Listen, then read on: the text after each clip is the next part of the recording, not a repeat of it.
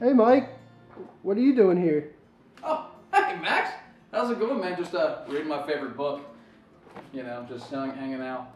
Oh, wow, that's pretty sweet. So, how's the new building coming along? Wow. Now that you mention it, I'm actually sitting in the third floor right now uh, during demo. You want me to take you for a little tour? Show yeah, around? let's take a look. All right, so we're standing on the third floor in the business offices for Metzcor, and I'm gonna give you guys a little, a little tour of it.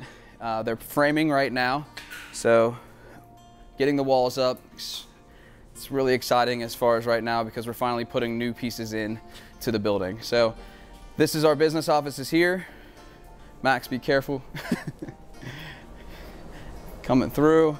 Um, Ashley's apartment is over here on this side.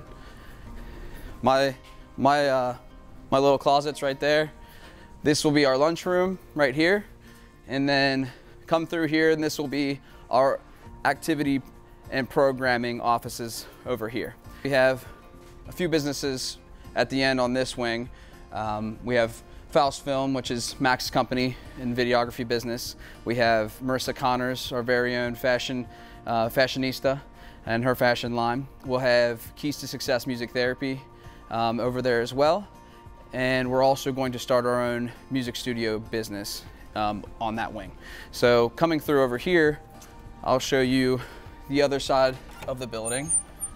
We have Pregnancy Center West, that will be this whole wing.